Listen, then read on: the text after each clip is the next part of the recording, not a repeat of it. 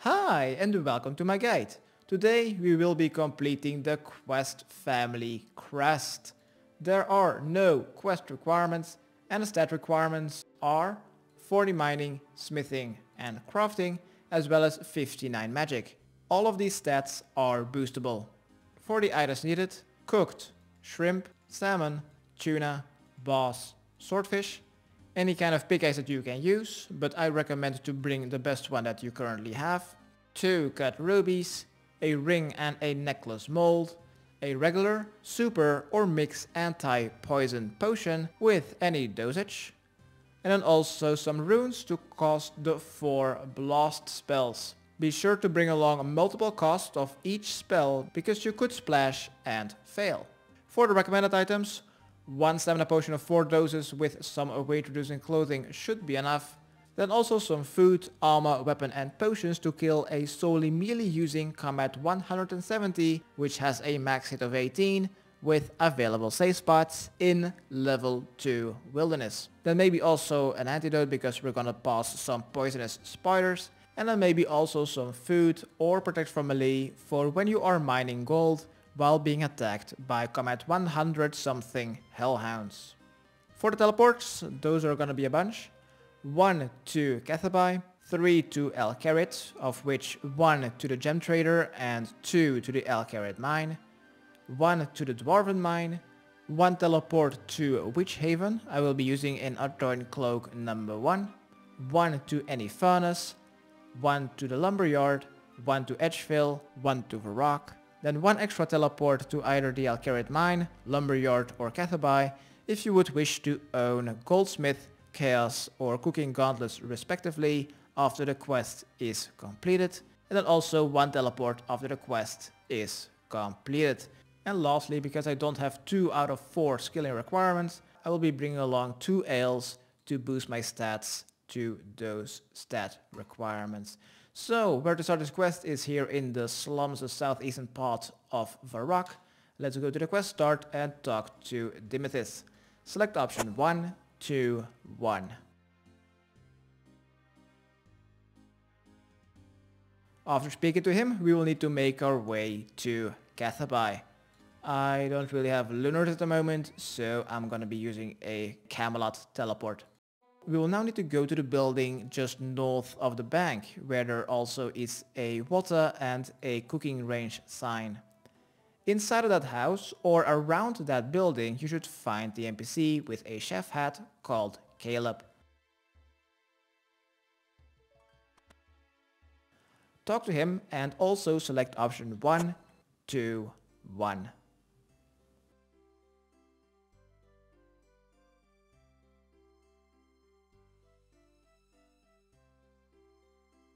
Next, talk to him again and select option 1 once again to get your first piece out of 3. This was also the easiest one by the way.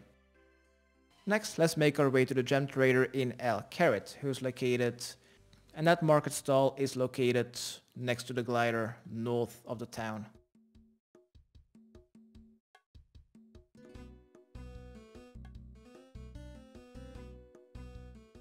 Let's talk to the gem trader and select option 3 about the man called Ivan. Next, let's run or teleport to the Al Kharid mine.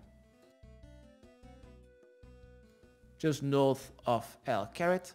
And near the gold rocks you should find a NPC just called Man. He has a yellow cape on.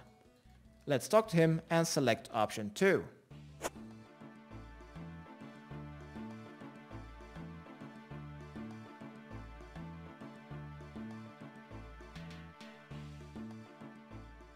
And he would want some perfect stuff. Next, let's teleport to the Dwarven Mine.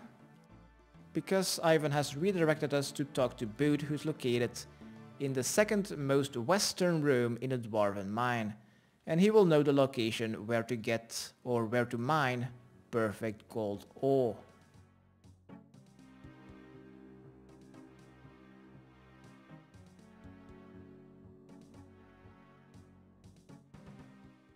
So let's enter the Dwarven Mine and then go south.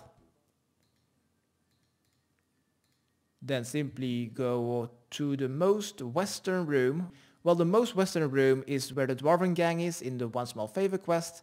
So if you go to the room just east of that one, there you should find Boot. Let's talk to him. He has some red trousers on. And select option 1. After speaking to him, let's make our way to Witchaven Dungeon. Fuck, I haven't written that down. And after talking to Boot, let's make our way to Witchaven Dungeon. The Witchaven Dungeon is located just between Ardougne and the port of Witchaven. We're now going to get attacked by some ogres as well as hellhounds, so be sure to go to the bank if you don't have protect from melee. Also bring like maybe a prayer potion if you need to.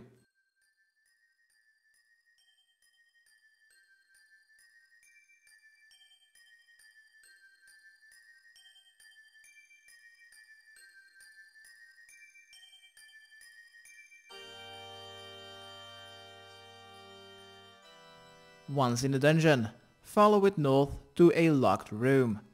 Next to the locked door you should find a lever. Pull that one up. And then run south to the southern room. There are two doors. Enter via the eastern door. And then on the eastern wall you'll find another lever. Pull that one up and then exit via the western door. Next, go back to the northern lever and pull that one back down.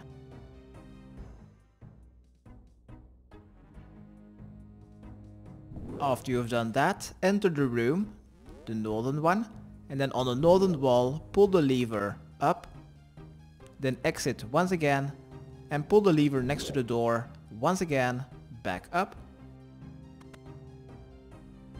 then run back south to the southern room, enter via the western door, pull the lever back down, and exit via the eastern door. Afterwards, go a bit north and you have unlocked the door going to the perfect gold ore mine just east and then enter the eastern room filled with Combat 122 Hellhounds. There you should find a couple of rocks which you can mine.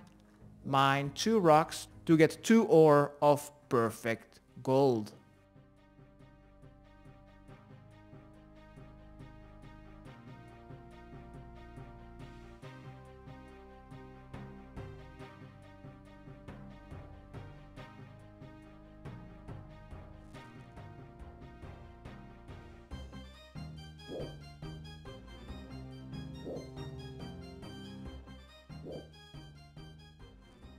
Right, once you have two perfect gold ore, let's teleport to any furnace.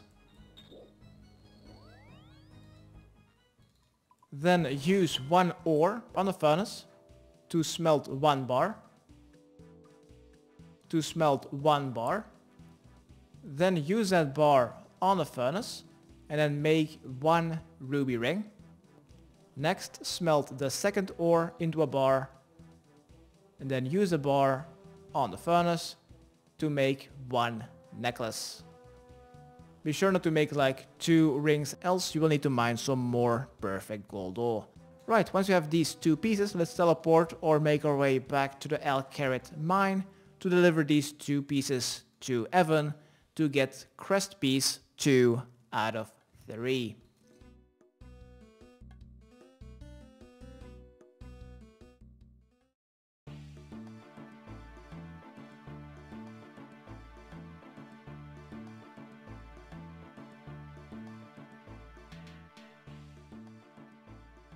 After speaking to him, let's make our way to the lumberyard.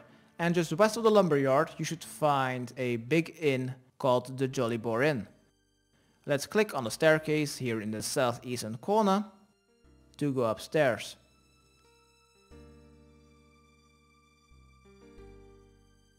Once you are on the second floor, go to the northwestern corner and there you should find inside of that room Jonathan.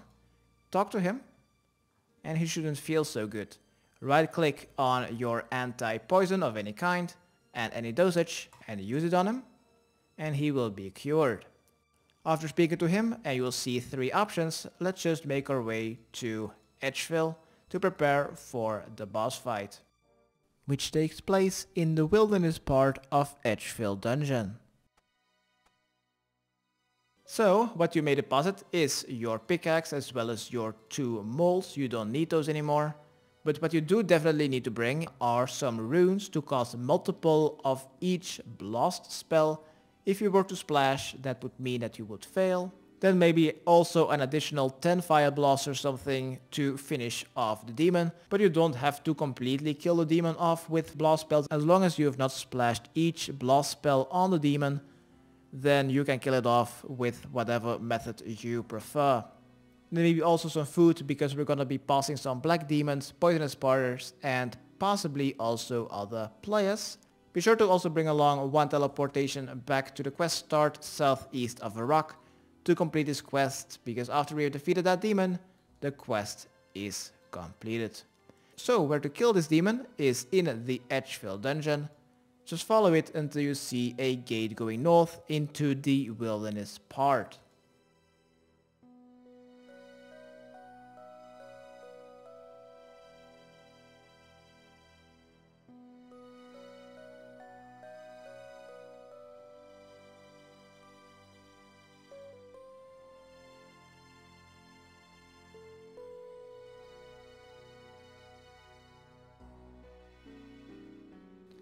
Just open that gate. If it is your first time, yeah, just enter the wilderness and then go west. Go west, following the dungeon until you see some black demons. Once you are at the black demons, go south, maybe also use protect from melee. North will be the ladder to go to the air obelisk, simply go south to the earth obelisk. Go stand east of the Earth Obelisk. You may turn off your Protect from Melee. And here you'll find Poison Spiders as well as Chronozon. Let's use all four of our Blast spells on Chronozon. If you splash. Okay, didn't splash. Nice. You just need to be sure that you deal damage of each of the four Blast spells. And once you've done that, you can defeat Chronozon in any way you would like, but since he is very weak to magic, doing the rest of the damage with fire blasts.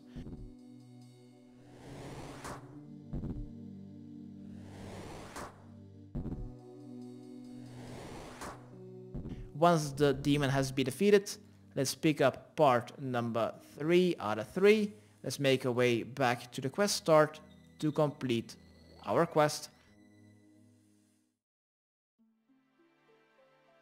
But before talking to Dimintheis, be sure to use one piece on each other to make a full crest. Once you've spoken to Dimintheis, congratulations, you have completed Family Crest Quest. You are awarded with one quest point as well as steel gauntlets. And also you've completed a quest requirement for the mini quest Family Pest. Currently, these steel gauntlets are quite useless, but you can make an NPC convert them into either cooking, chaos or goldsmithing gauntlets for 25,000 GP each conversion. Simply talk to Caleb in Catherby for cooking gauntlets and these cooking gauntlets will heavily reduce the burn rate when you are cooking. Lobsters, swordfish, shark, monkfish as well as anglerfish. You can talk to Evan in the Al Kharid mine to convert your gauntlets into goldsmithing gauntlets and these will increase your XP when smelting gold ore from 22.5 experience per 256 and a quarter XP each gold ore smelted. And this includes superheating as well as while using the blast furnace. And then finally you could also go to Jonathan in the Jolly Boar Inn to get your hands on Chaos Gauntlets. And what these gauntlets do is simply increase the max hit of every bolt spell by 3. So for example, Firebolt, while these gloves are worn, the max hit will be instead of 12, 15. Alright, this was my quest guide how to complete Family Crest Quest. Hopefully it has helped. Subscribe, rate and comment. Okay, thanks, bye.